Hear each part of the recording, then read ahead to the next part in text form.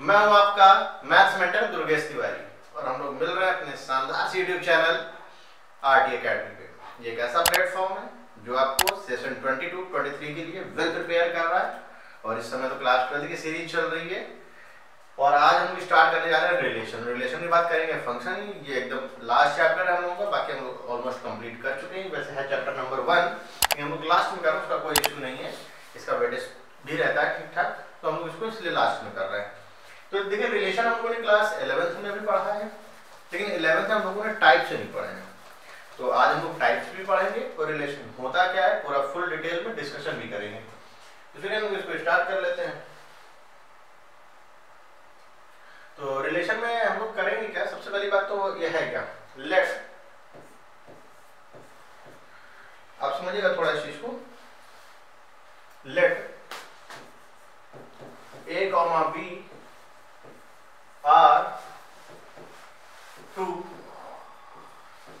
non-empty set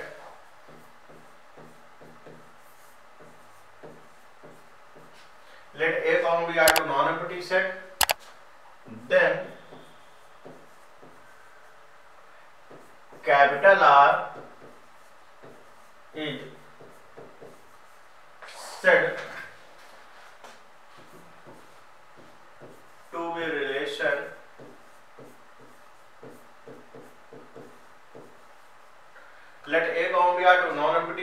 capital R is said to be relation if capital R को relation कहेंगे जो subset of A cross B अगर A cross B का subset है तो उसके हम लोग इसको ये कहेंगे कि ये क्या है एक relation मतलब जो relation होता है वो A cross B का क्या होगा subset होगा अच्छा तो ना A cross B जब आप निकालोगे तो उसमें जितने भी element होंगे तो रिलेशन के अंदर उसी से ही एलिमेंट लिए जाएंगे कहीं अलग से एलिमेंट नहीं जाएंगे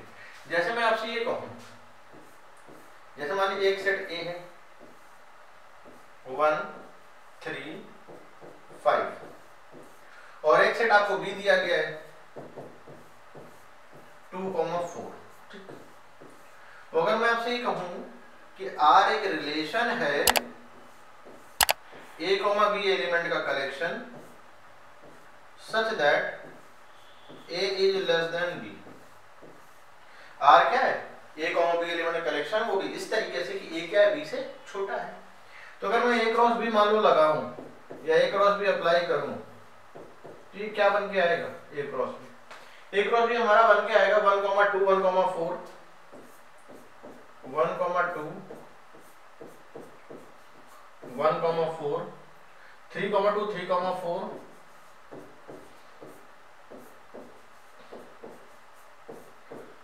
five comma two five comma four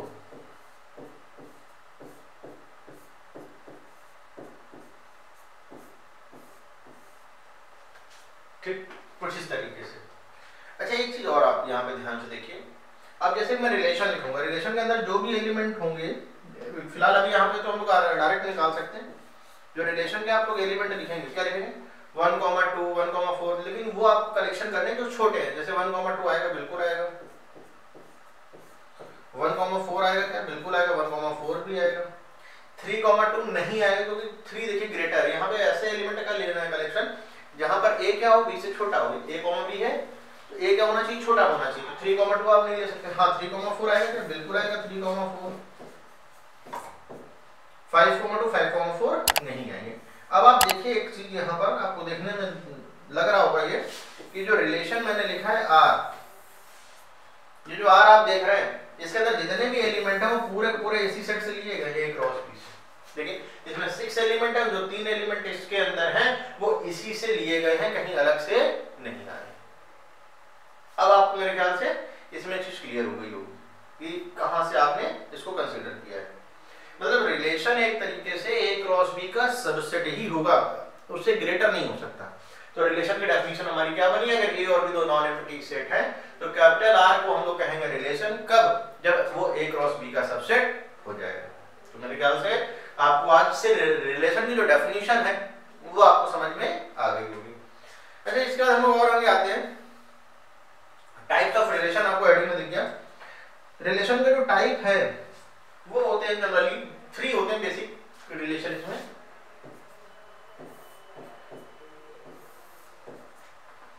एक होता है रिफ्लेक्सिव रिलेशन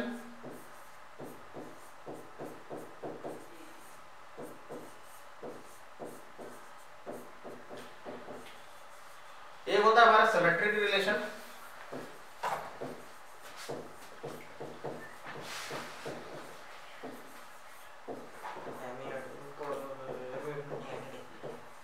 और एक होता है ट्रांजिटिव रिलेशन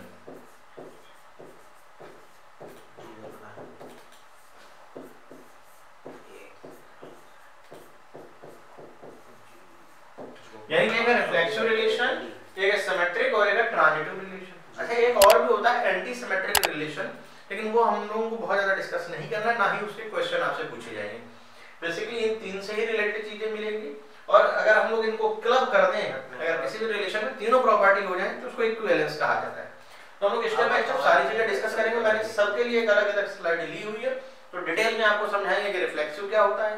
सिमेट्रिक क्या होता है ट्रांजिटिव क्या होता है तो चलिए हम इसको स्टार्ट करना चलेगा टीम व्यूअर है देखिए सबसे पहले हमारे पास स्लाइड आ चुकी है रिफ्लेक्सिव रिलेशन अच्छा रिफ्लेक्सिव रिलेशन का एक नेम और होता है हम इसको ये भी कह सकते हैं कि एक ऐसा है इसको हम कहते हैं इटसेल्फ रिलेशन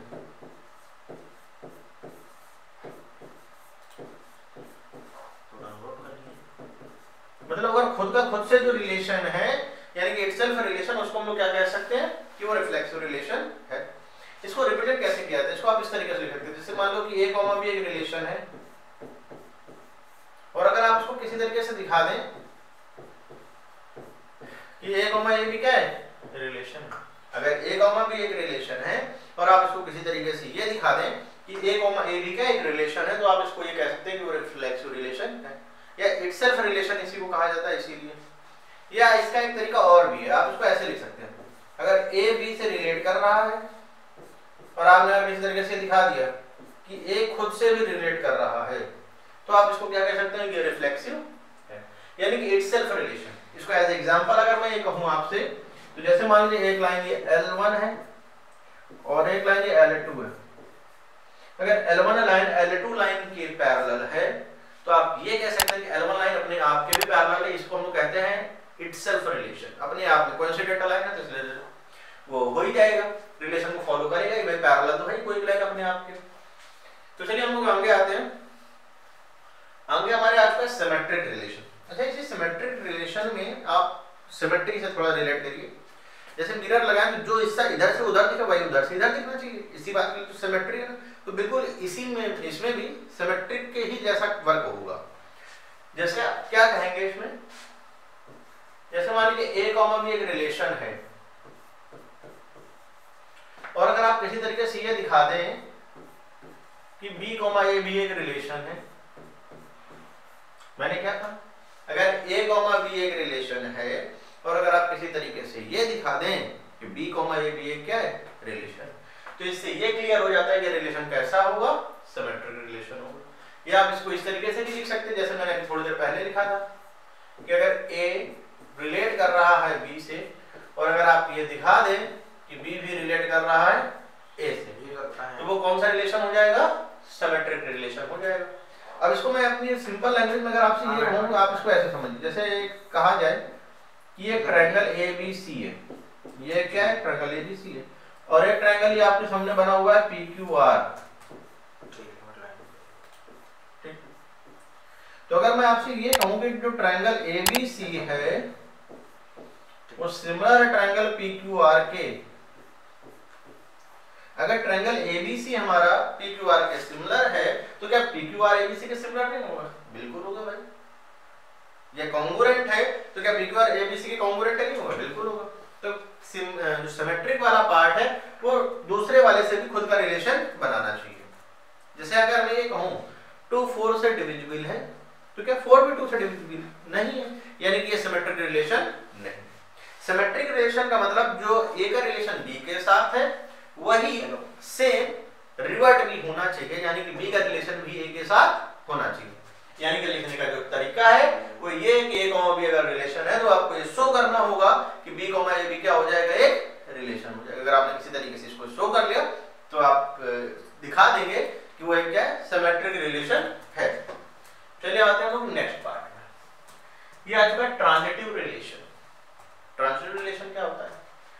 जैसे मान लीजिए कि अगर मैं आपसे ये कहूं कि ए कॉमा बी एक रिलेशन है और बी कॉमा सी भी एक रिलेशन है अगर ए कॉमा बी एक रिलेशन है और बी कॉमा सी भी एक रिलेशन है और अगर आपने किसी तरीके से ये दिखा दिया कि ए कॉमा सी भी क्या एक रिलेशन है मैंने क्या कहा अगर ए कॉमा बी एक रिलेशन है बी कॉमा सी एक रिलेशन है तो अगर आपने किसी तरीके से दिखा दिया कि ए का सी से भी रिलेशन है तो इससे ये प्रूफ हो जाता है कि वो रिलेशन कैसा होगा ट्रांजिटिव होगा ये इसका एक तरीका और भी है क्या है वो मेथड जैसे ए रिलेट कर रहा है बी से और बी रिलेट कर रहा है सी से क्या ए रिलेट कर रहा है बी से बी रिलेट कर रहा है सी से और अगर आप इसको दिखाने में सक्सेस हो गए कि ए रिलेट कर रहा है सी से तो ये प्रूव हो गया कि ये कैसा रिलेशन है ट्रांजिटिव रिलेशन है इसको अगर मैं एज एग्जाम्पल एक कंसिडर करूँ तो आप देखिएगा एग्जाम्पल आपको क्या मिलेगा जैसे अगर लोगों ने लाइन वाला किया था तो आप उसको ही ले लो जैसे ये एल वन लाइन है ये एल टू लाइन है और ये आप लोग एल थ्री लाइन अगर मैं आपसे ये कहूँ कि L one line L two के पैरल है L one is parallel to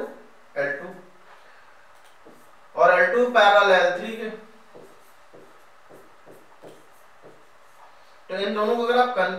conclude करोगे तो L1 one parallel to L3 ये रिजल्ट हमारा आ जाएगा मतलब कहते हैं ए कोमा बी रिलेशन है और बी कोमा सी भी एक रिलेशन है और किसी तरीके से अगर आपने ये दिखा दिया कि ए कोमा सी भी क्या एक रिलेशन तो इससे ये क्लैरिटी आपको मिल जाएगी कि वो क्या होगा रिलेशन होगा आपका ट्रांजिटिव रिलेशन होगा अच्छा एक चीज और नंबर ऑफ रिफ्लेक्शन रिलेशन कैसे निकाले जाते हैं ट्रांजिटिव कैसे निकाल सिमेट्रिक तो रिफ्लेक्सिव तक तो कुछ फॉर्मूले हैं तो वो भी हम लास्ट में डिस्कस करेंगे देखिए एक नया रिलेशन आ गया ट्रांजिटिव रिलेशन ये कोई नया रिलेशन नहीं है ये क्लब करने पे एक नया रिलेशन बना है जैसे कि कोई एक रिलेशन है आपको एक क्वेश्चन मिलेगा क्वेश्चन जनरली पूछेगा प्रूफ दैट या so that this is an equivalence relation तो इक्विवेलेंस रिलेशन का मतलब ये है कि उसके अंदर ये प्रॉपर्टी होगी जो वो जो रिलेशन होगा वो इस बात को शो करेगा कि वो रिफ्लेक्सिव भी है सिमेट्रिक भी है और ट्रांजिटिव भी है अगर कोई भी रिलेशन रिफ्लेक्सिव सिमेट्रिक और ट्रांजिटिव तीनों रिलेशन को शो करेगा तो इसका मतलब यह कि वो क्या है इक्वेलेंस रिलेशन अब देखिएगा if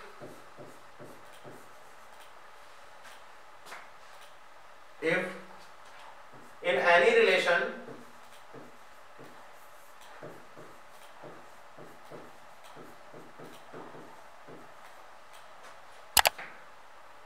reflexive symmetric is an array relation reflexive symmetric and transitive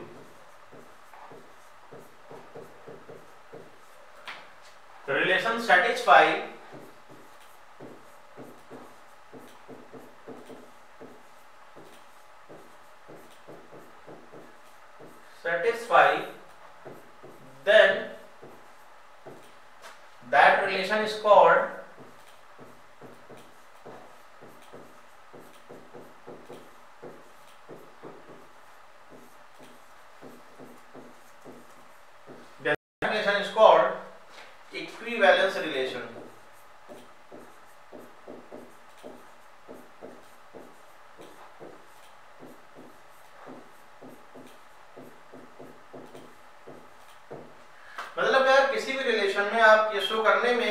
सफल होगा कि आपको क्लियर हो गया कि वो रिफ्लेक्सिव भी है सिमेट्रिक भी है ट्रांजिटिव तो है भी है तो इससे क्लियर हो जाएगा कि वो जो रिलेशन हो क्या इक्विवेलेंस रिलेशन मेन आपको फोकस करना है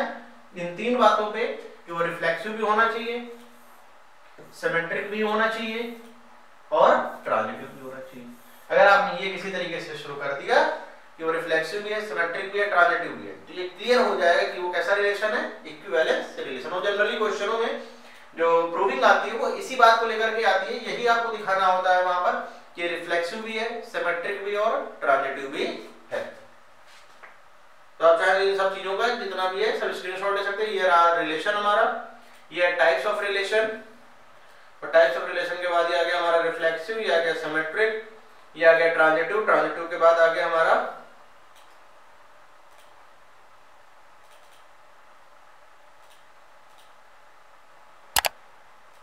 यहाँ पे ट्रांजिटिव लिखा मैं इसको थोड़ा सा चेंज कर देता हूँ ये इक्विवेलेंस है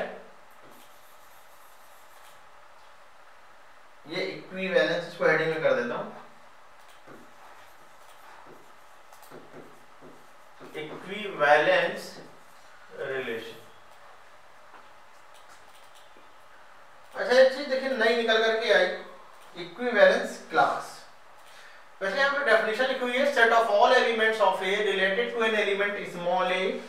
जो कि सेट ए से ही लिया गया होगा और इस तरीके से रिप्रेजेंट उसको करेंगे मेरी लैंग्वेज में अगर आप समझे तो आप इस तरीके से समझ सकते हैं कलेक्शन ऑफ ऑल दो एलिमेंट्स वो सारे एलिमेंट आपको लेने हैं और जो जिसकी भी इक्वेलेंस क्लास पूछी जाती है वो उसी सेट का एलिमेंट होगा कहीं बाहर से नहीं आएगा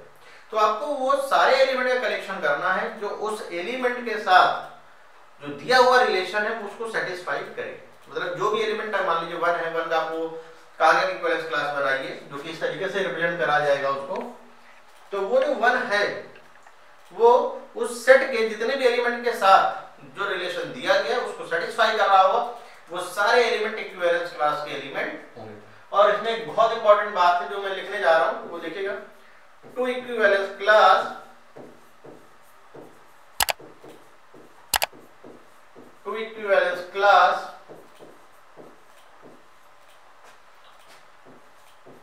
either identical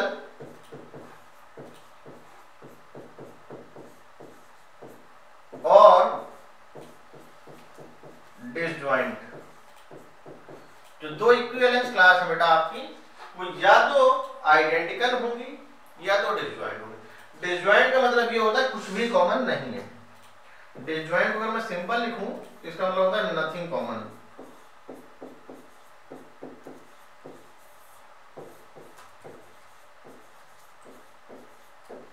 मतलब कुछ भी कॉमन इसमें नहीं और आइडेंटिकल का मतलब full set complete set same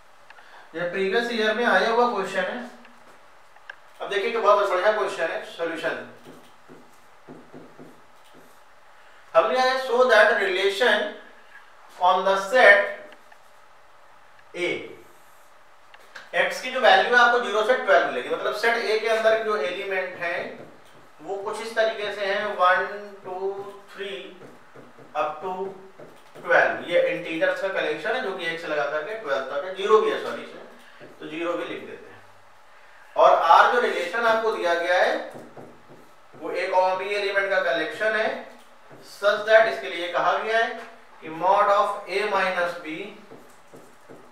is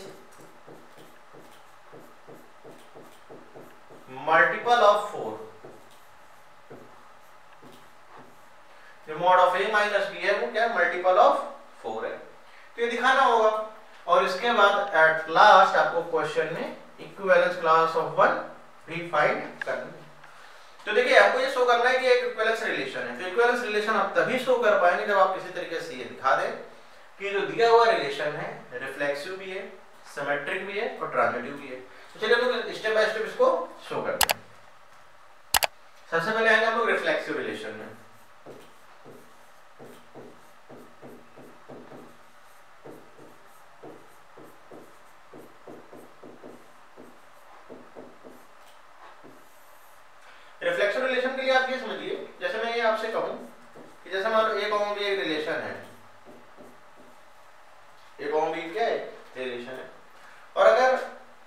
expression है कि mod of A minus B is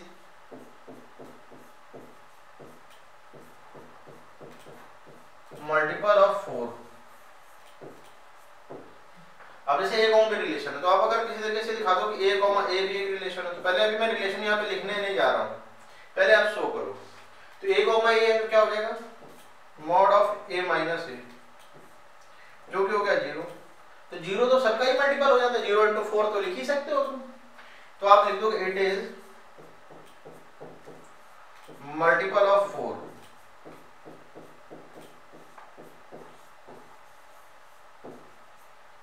so A comma A is a relation A comma A क्या हो गया relation hence reflexive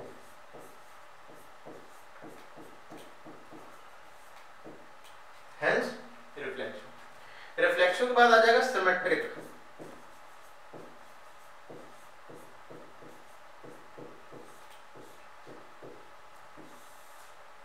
रिफ्लेक्शन के बाद आ जाओ सिमेट्रिक सिमेट्रिक में देखिए क्या आएगा सिमेट्रिक में आप एक चीज देखो ए कॉमा बी अगर ये रिलेशन है तो क्या कंडीशन निकल के आ रही है mod of A minus B is multiple of four ये हमको एज ए क्वेश्चन में दिया है अच्छा एक्चुअली ये बताओ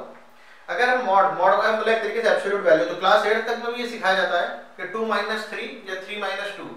के मॉड की बात करें एब्सोल्यूट वैल्यू की तो दोनों केस में क्या है नेगेटिव तो होता नहीं उसमें तो अगर आप ऐसे समझे कि अगर a, b करने से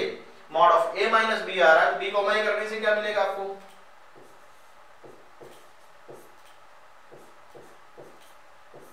mod of D minus A और mod of D minus A को आप क्या लिख सकते हो अभी मैं इसको एड्रेस कर देता हूं थोड़ी देर के लिए mod of D minus A से क्या मिल जाएगा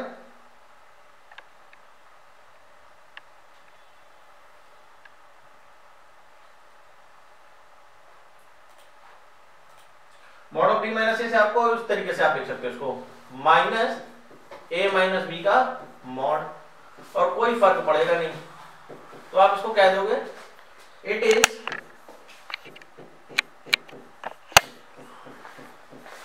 multiple of four it is multiple of four क्या है फोर का मल्टीपल अगर फोर का मल्टीपल है यानी कि आप ये कह सकते हैं B comma A is also relation और अगर ये रिलेशन है hence, symmetric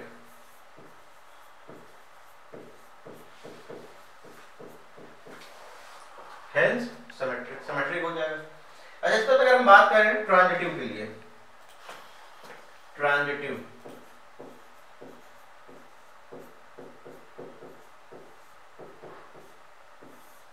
जैसे मान लो अगर मैं कहूं ए कॉमा बी एक रिलेशन e, है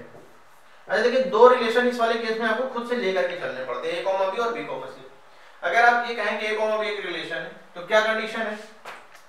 mod of A minus B is multiple of four यानी कि इसको हम लोग क्या फोर लैमडा लिख सकते हैं अच्छा एक चीज भी बताओ अगर कोई चीज जैसे आप ट्वेल्व कहें तो ट्वेल्व फोर का मल्टीपल है बिल्कुल सही तो उसमें फोर तो जरूर होगा डेफिनेटली साथ में कोई और नंबर भी होगा जैसे थ्री है जिसमें कहूँ twenty four twenty four four का मल्टीपल है तो ट्वेंटी फोर में फोर तो है साथ में कोई और भी नंबर है तो ऐसे अगर ए माइनस बी फोर का मल्टीपल है तो उसके अंदर फोर तो होगा ही साथ में कोई दूसरा नंबर भी होगा और जब आप मॉड कहीं से हटाते हैं तो एक प्लस माइनस का साइन आ जाता है तो जो कि बनाएगा फोर लैमडा प्लस माइनस अच्छा अगर इसी में अगर मैं आपसे कहूं कि बी कॉमर सी भी एक रिलेशन है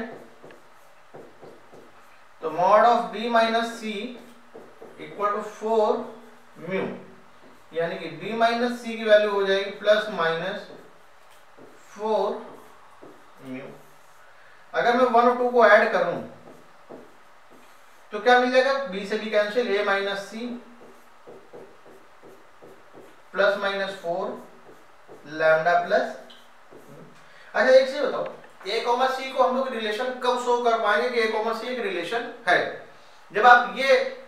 शो कर दें कि mod of A minus C four का मल्टीपल है अगर आपने ये शो कर दिया तो इससे ये क्लियर हो जाएगा कि ए कॉमा सी बी का एक रिलेशन है अब अगर आप देखिए A minus C equal to plus minus four lambda plus mu अगर यहाँ पे मॉड ले लिया जाए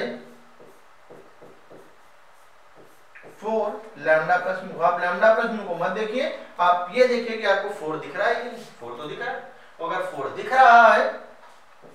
तो इससे ये क्लियर है कि ए कॉमा सी बी का रिलेशन है तो अगर रिलेशन है तो इसका मतलब ये प्रूव हो गया है ट्रांजिटिव और भैया अभी थोड़ी देर पहले ही मैंने बस आपको बताया है कि अगर कोई भी रिलेशन रिफ्लेक्सिव भी है सिमेट्रिक भी है ट्रांजिटिव भी है तो इसका मतलब ये है कि वो रिलेशन कैसा है इक्विवेलेंस रिलेशन यानी ये जो रिलेशन आप देख रहे हैं इतना बड़ा ये एक इक्विवेलेंस रिलेशन अब बन चुका है क्यों क्योंकि हमने इसमें प्रूफ कर दिया ये रिफ्लेक्सिव भी है सिमेट्रिक भी और ट्रांजिटिव भी है ये दिखाना ही सफिशियंट है कि एक इक्विवेलेंस रिलेशन है अच्छा, चलिए अब हम लोग बात कर लेते हैं find the set of all elements of related to A अच्छा ऐसे एलिमेंट का कलेक्शन जो वन से रिलेट कर रहे हैं तो एक तरीके से वो इक्विवेलेंस क्लास ही होती है अब देखिए हमें इक्विवेलेंस क्लास ऑफ वन बताना है तो मैंने कहा कुछ एक्स ढूंढ लेते हैं जो वन के साथ रिलेट कर रहे हो तो इसका मतलब क्या हो जाएगा mod of X minus one is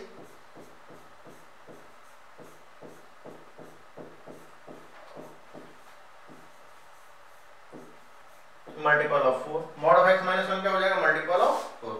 अब यहाँ से एक्स आपको कलेक्ट करने ऊपर से स्टार्टिंग से यहाँ पुट करिए अब आप पुट करने के बाद ये देखिए क्या ये फोर का मल्टीपल है कि नहीं अब देखिए क्या आ रहा है एलिमेंट जैसे जीरो रखो तो जीरो एक्स की जगह रखना है तो zero minus one one one तो फोर का मल्टीपल नहीं होता वन रखो वन माइनस वन जीरो हाँ जीरो हो जाएगा भाई जीरो तो किसी का भी हो जाएगा इसी तरीके से आप रखते चले जाओ मैं डायरेक्ट बताता हूँ फाइव रखो फाइव माइनस वन यानी कि फोर फोर तो हो जाएगा फोर का मल्टीपल नाइन रखिए एक्स की जगह nine minus one nine minus one क्या आ जाएगा एट एट फोर का मल्टीपल होता ही है यानी कि नाइन भी हो जाएगा यानी कि जो वन की इक्विवेलेंस क्लास है उसके अंदर जो एलिमेंट आए निकल करके वो आपके आए one comma five comma nine अच्छा अगर आप किसी और एलिमेंट की मान लो निकाल निकालो टू की निकाल निकालो तो आपको देखने में ये लगेगा कि टू की इक्वेलेंस क्लास और वन की इक्वेलेंस क्लास में एक भी एलिमेंट सेम नहीं है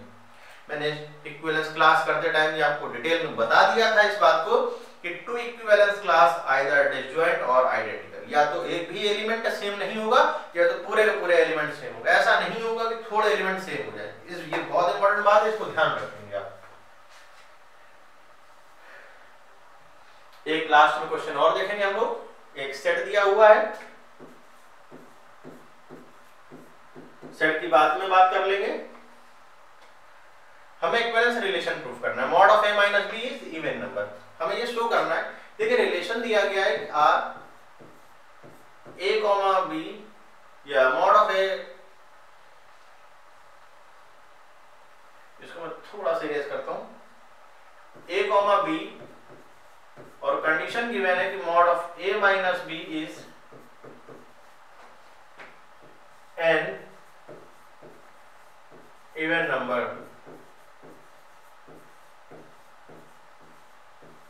mod of A minus B क्या है एक इवन नंबर है तो इवन नंबर का मतलब क्या मैं ये कह सकता हूं कि मल्टीपल ऑफ टू या डिविजिबल बाय टू तो जैसा मल्टीपल वाला क्वेश्चन क्या बिल्कुल सेम एज प्रीवियस क्वेश्चन के तरीके हम कर लेते सबसे पहले बात करते हैं रिफ्लेक्सिव की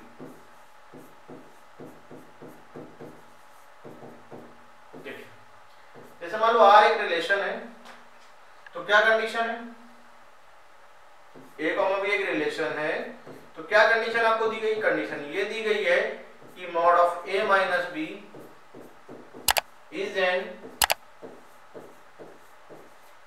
even number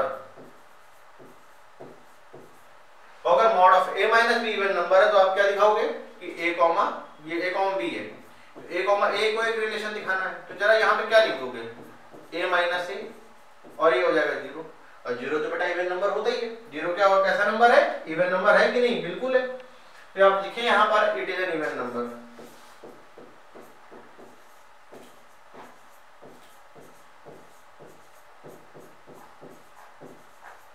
और अगर ये इवन नंबर है इसका मतलब ये हो गया कि ए कॉमा ए भी क्या है रिलेशन और अगर ये रिलेशन है तो हम लोग ये भी कह सकते हैं हेंस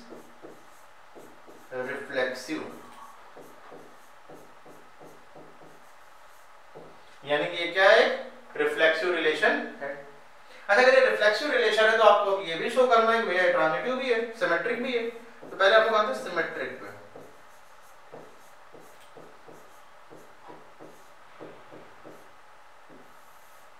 सिमेट्रिक रिलेशन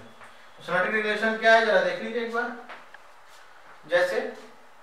हमसे कहा गया कि ए कॉमा भी एक रिलेशन है तो क्या कंडीशन है mod of A minus B is an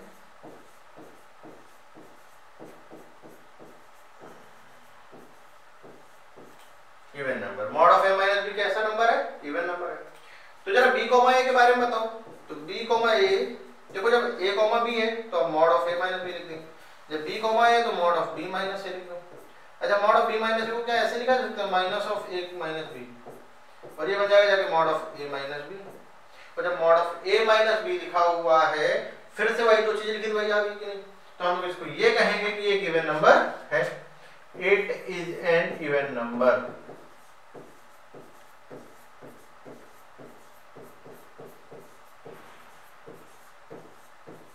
it is an even number so b comma a is also a relation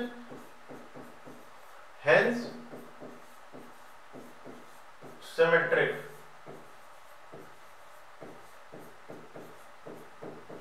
hence symmetric यानी कि अगर a कॉमा b एक रिलेशन है तो आप दिखाने में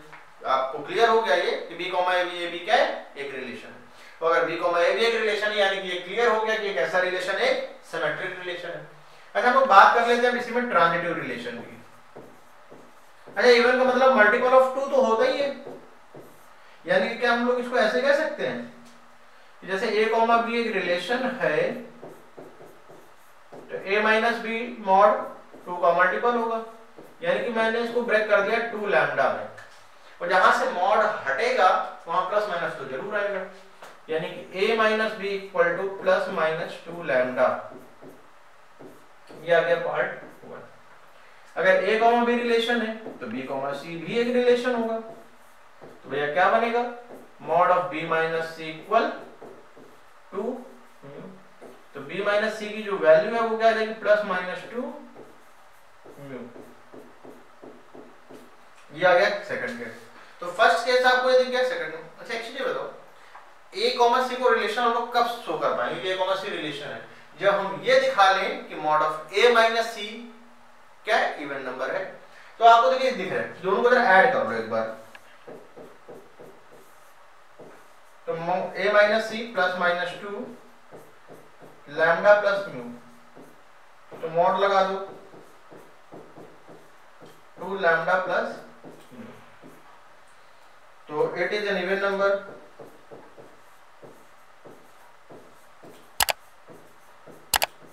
और अगर इवन नंबर है क्लियर हो गया ए गौना सी भी के रिलेशन यानी कि ये भी क्लियर हो गया कि ये कैसा नंबर है यानी कि ये ट्रांजिटिव शो हो गया अच्छा एक चीज बताओ रिफ्लेक्सिव भी है सिमेट्रिक भी है ट्रांजिटिव भी है अगर तीनों है तो इसका मतलब यही तो हुआ ये एक इक्विवेलेंस रिलेशन है हम लोग बड़े अच्छे से लिखेंगे आप इसको हेंस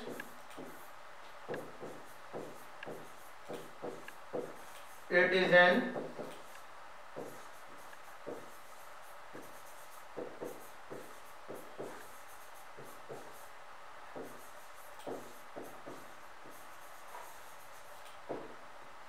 यानी कि इक्विवेलेंस रिलेशन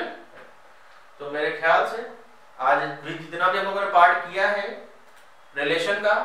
सारे टाइप सीखे हम लोगों ने रिफ्लेक्सिव क्या होता है सिमेट्रिक क्या होता है ट्रांजिटिव क्या होता है टू क्वेश्चंस भी किए लेकिन अभी क्वेश्चन सफिशिएंट नहीं है अभी एक लेक्चर इसमें हम लोग और करेंगे इसमें बहुत सारे क्वेश्चन होंगे जो कि प्रीवियस ईयर के होंगे